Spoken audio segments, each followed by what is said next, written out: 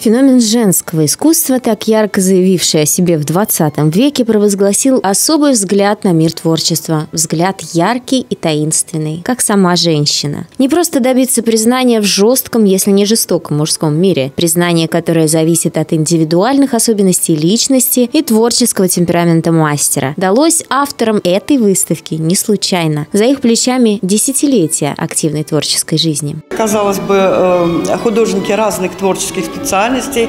Э, скульптор Раиса Лысенина, живописец и график Маргарита Будылева.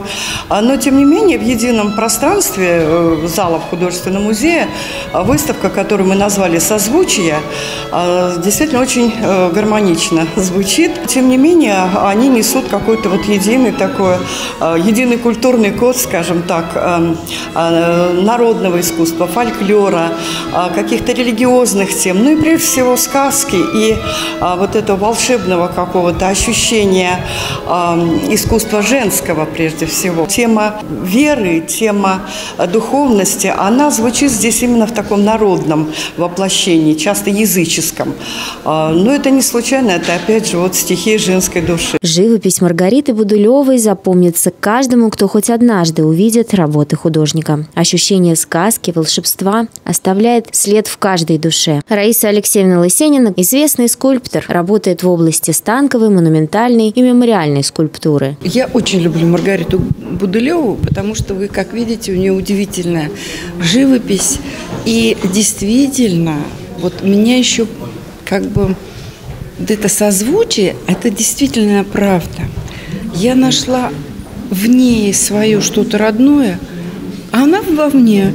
И вот одна работа вообще э, такое чувство, что как будто я э, делаю ее только для работ э, Маргариты Левкоевны. Вот на пути к солнцу.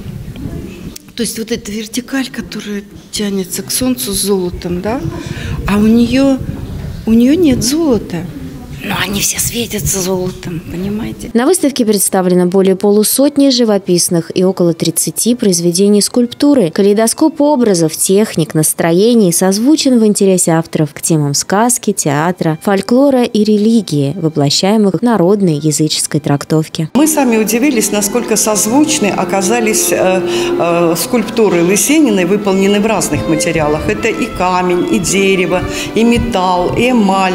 Э, то есть она сочетает сочетает, казалось бы, несочетаемые природные э, материалы и получаются удивительные э, волшебные вещи.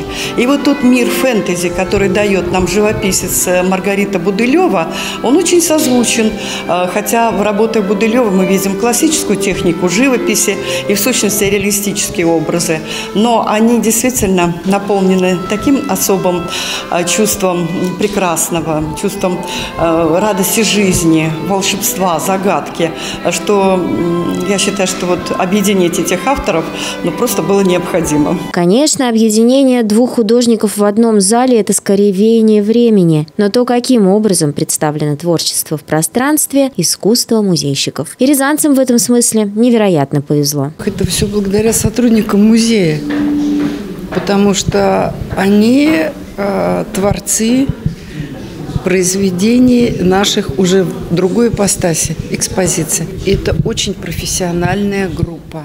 Во-первых, уже молодежь. У них есть смена. Это большое дело. И девочки очень хорошо прочувствовали пространство, прочувствовали мои работы в пространстве и ряд золотых работ Маргариты Левкоин. В любом случае, посещение этой экспозиции не просто погружает в сказку мир волшебства, но и помогает обнаружить внутри себя тонкую, полузабытую связь с истоками, с корнями. Любая выставка звучит о красоте, да. И э, красота – это то, что приподнимает человека в любом случае, да, должна приподнимать и должна служить добру. Выставка работает с 6 октября по 27 ноября. Марина Романюк, Дмитрий Ефимов, телекомпания «Город».